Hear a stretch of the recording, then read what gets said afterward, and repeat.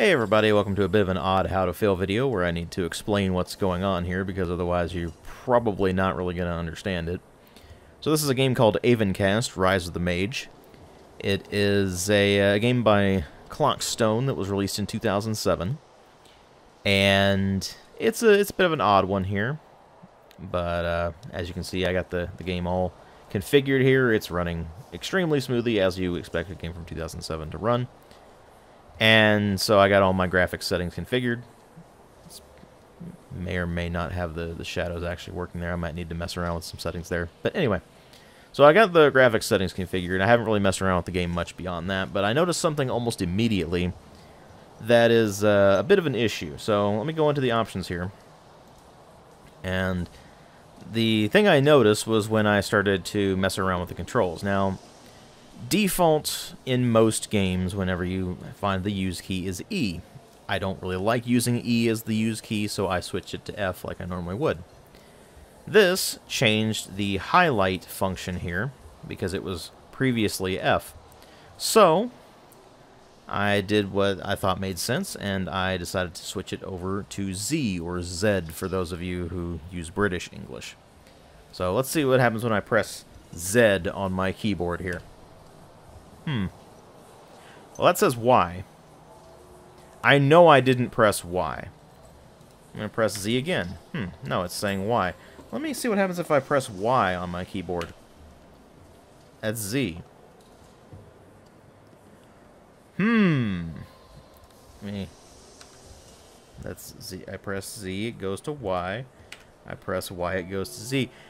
They have hard-coded the keyboard layout to QWERTZ because Clockstone is a German company and they use QWERTZ keyboards.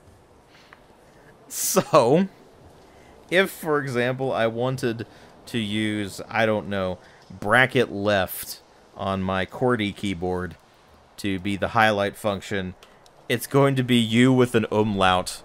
So, eh. if I do right bracket, it's a plus. And if I do semicolon, it's an O with an umlaut, so eh. If I do apostrophe, it's A with an umlaut, so eh.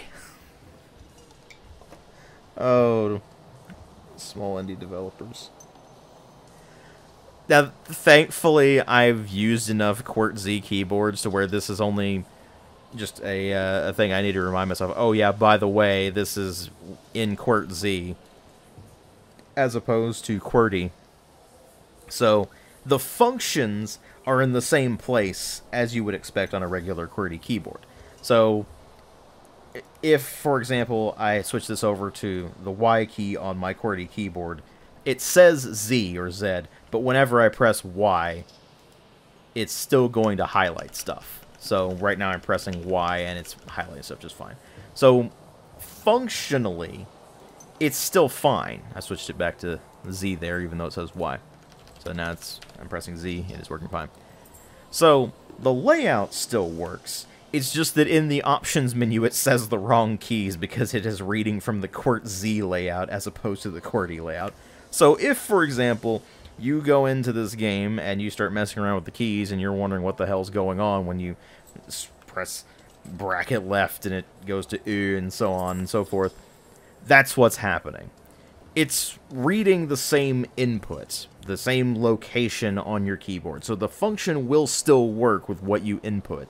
It's just that in the options menu, it says the wrong thing.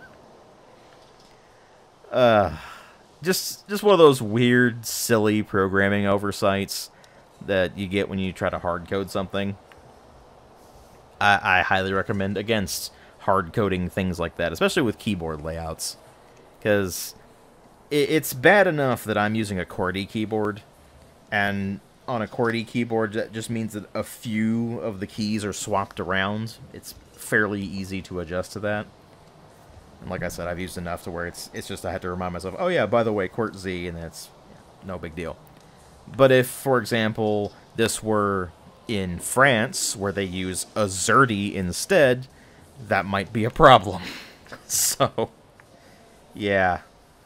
It, it's one of those odd quirks. That sometimes you run into these kinds of things when you're messing around with odd, small indie games and such, and, well, I'll, I'll keep messing around with the game and see what it's all about and do a review or MTO depending on what ends up happening, but I'm definitely going to have to mention that in the video because it's just one of those weird quirks that if I don't mention it, someone will probably wonder what's going on and be in the comments going, I got this game and started messing around with it and it's got all my keyboard inputs wrong. What is happening? So, there you go.